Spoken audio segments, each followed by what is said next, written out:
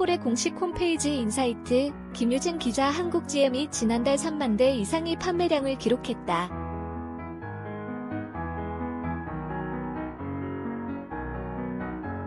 2일 한국GM은 9월 한 달 동안 총 34,816대를 판매했다고 밝혔다.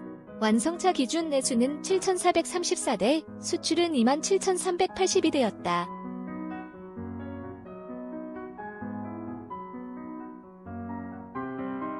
내수 시장에 3,158대가 판매된 쉐보레 스파크는 개성과 스타일을 강조한 마이핏, 마이핏 에디션 출시를 통해 고객 선택의 폭을 넓혔다.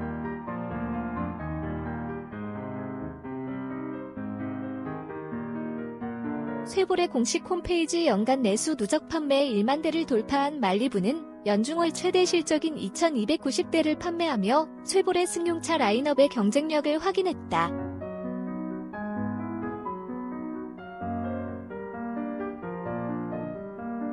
완성차 기준 내수 7,434대, 수출 2만 7,382대 레드라인 스페셜 에디션을 내놓고 젊은 소형 SUV 고객을 공략한 트랙스는 1,043대가 출고되며 SUV 제품군의 판매량을 이끌었다.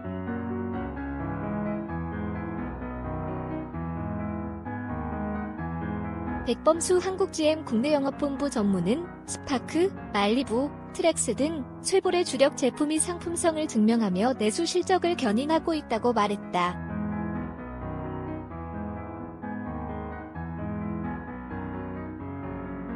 쉐보레 공식 홈페이지에 이어 10월에는 코리아 세일 페스타와 연계해 차종별 최대 520만원의 파격 고객 할인 프로모션을 제공하며 실적 상승을 위한 본격 시동에 나설 것이라고 덧붙였다.